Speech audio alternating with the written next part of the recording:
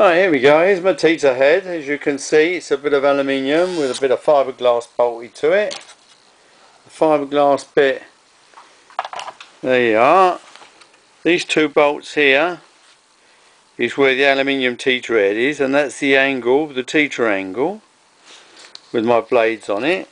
If you have, uh, you have a close look in there, you can see roughly what negative angle I've got on it and uh, here's how the, it's meant to work. So see when the blades down it goes slightly up. You can see a bit of positive on it there.